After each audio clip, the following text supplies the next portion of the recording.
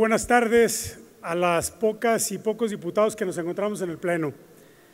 Primeramente, antes que nada, la verdad que el día que votamos el presupuesto, nos fuimos muchos de la comisión con un sabor de boca muy amargo y con una tristeza enorme porque ese recorte creo que durante todo un año lo vamos a estar reclamando.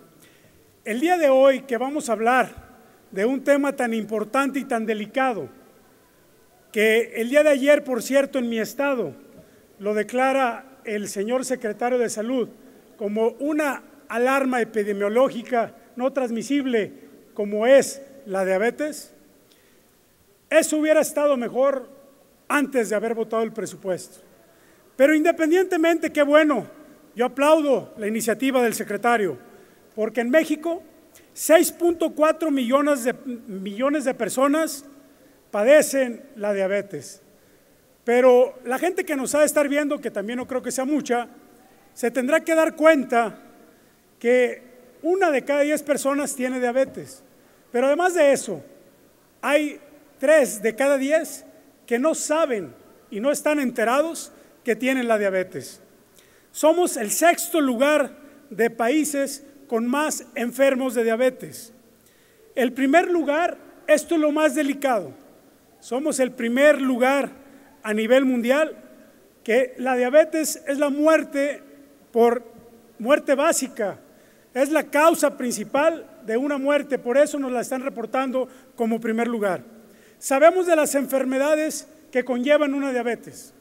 Ya hablaba un compañero de lo que puede pasar, pero también yo le yo le pido a los diputados y a las diputadas que veamos de unas bolsas, porque normalmente hay bolsas de gastos catastróficos, donde podamos fortalecer el sistema de servicios de salud, donde podamos sacar esos 85 mil millones de pesos que se gastan al año en tratar a pacientes con la diabetes.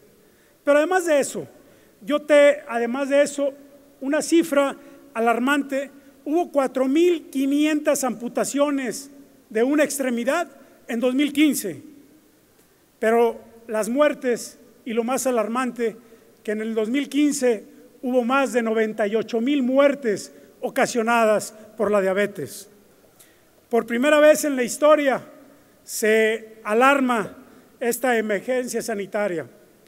Pero tengo un reclamo, un reclamo, ¿dónde está el impuesto que votamos?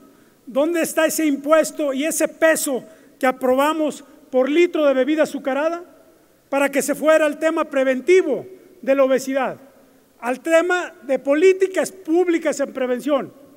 ¿Dónde están los bebederos en las escuelas?